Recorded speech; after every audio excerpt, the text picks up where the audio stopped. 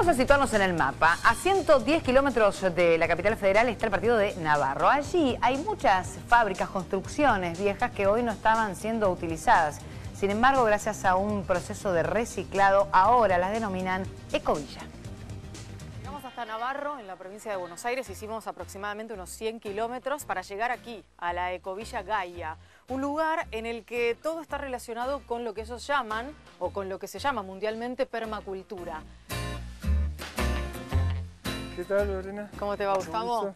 Igualmente, gracias por recibirnos. Bueno, gracias por la visita. Y estábamos viendo qué lindas son las construcciones. ¿Con qué están hechas, básicamente? Bueno, es una mezcla de tierra con paja y arena y ese barro, se le coloca agua, eh, va directamente a las paredes. Con las mismas manos, luego ese, ese barro se va acomodando, se colocan ventanas, puertas, siguen subiendo a las paredes y sin problema después pueden soportar pisos y el techo.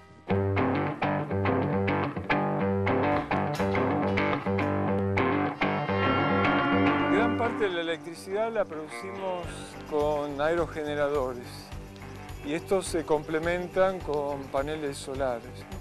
¿Los paneles solares son estos? Son estos, sí. La acumulación de la electricidad se hace en este banco de baterías.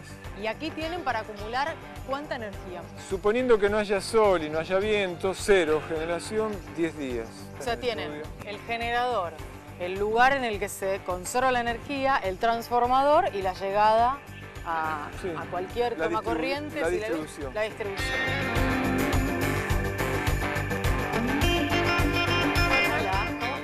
¿Qué estabas haciendo por allí? Estoy mm, orientando las cocinas solares.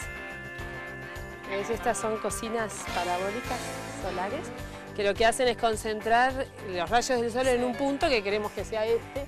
si pones la mano acá te das cuenta que te quema. ¿Cómo fue que se decidieron a cambiar de vida rotundamente y decir, bueno, esto es lo que nosotros queremos para el futuro? Bueno, desde ya no, no fue un día, ¿no? Es un proceso que, que se viene, viene sucediendo dentro de uno.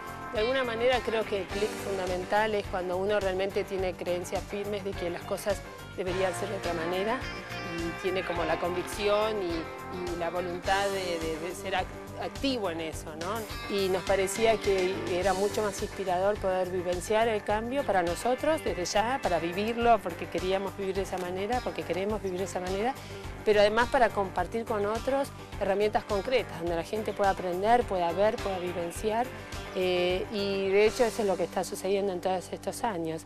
Cuando la gente se compromete a lo mejor desde un lugar más pequeño, si querés, en cuanto a tratar de reciclar parte de los residuos, a utilizar mejor el agua, eh, a pesar de que a lo mejor siga viviendo en una ciudad. ¿Eso suma o no alcanza? ¿O hay que tratar de ir un poquito más allá? Nada es poquito, cada uno hace lo que puede, en definitiva, y yo creo que eso es lo más importante, que cada uno se posicione en donde en su realidad y siempre siempre seguramente uno puede más de lo que cree y muchas veces nos llenamos de excusas. ¿Cuánta gente vive hoy en Gaia? Hoy somos 12 personas viviendo y también hay otras, otros socios de la asociación que no viven pero que participan, colaboran con las actividades. ¿Notas que hay un interés mayor en, las escuelas, por ejemplo, sobre estos temas relacionados con la sustentabilidad, con la ecología, con el cuidado de la naturaleza? ya hay cada vez más interés, como que lo sienten más directo, ¿no? los cambios que hay en el planeta, los problemas ecológicos y todo esto. Así que si yo me acuerdo de mis años de, niño, de joven, este, ahí la mayoría de los niños ya están con estos temas, conociendo que la ecología tiene que cuidarse. E-, era raro escuchar a un niño de 6, 7, 8 años diciéndole al papá, eh, cerrar la canilla que hay que ahorrar agua, o no tiene basura. los niños hoy sí. Reaccionan, yo veo que reaccionan más los niños que los adultos.